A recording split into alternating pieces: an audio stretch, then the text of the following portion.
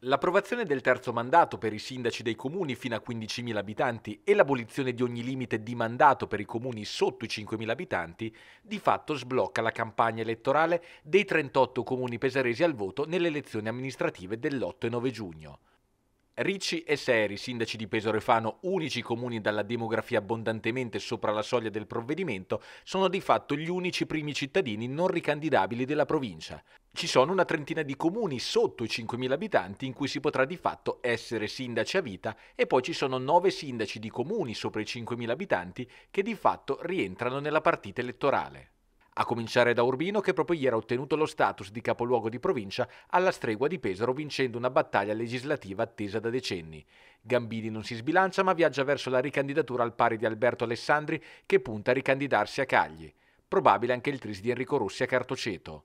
Non si ricandiderà invece a Tavuglia Francesca Paolucci, valutazioni in corso a Gabicemare per Domenico Pascuzzi, a Montelabate per Cinzia Ferri e a Urbania per Marco Ciccolini. Di problemi non ce n'erano a Pergola con Simona Guidarelli che sta concludendo ancora il primo mandato.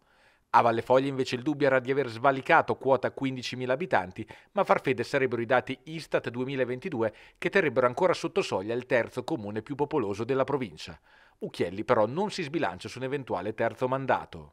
Io non mi sono mai autocandidato a nulla, valuteremo insieme quello che serve per fare in modo che ci possa essere una continuità, perché non è solo il sindaco, noi abbiamo fatto sempre un grande lavoro di squadra eh, della giunta, del consiglio, della maggioranza, ma anche con le minoranze, abbiamo sempre collaborato per il bene della città, per il bene della comunità. Quindi valuteremo nel momento in cui è convertito in legge il decreto per quel che mi riguarda e poi decideremo insieme come sempre.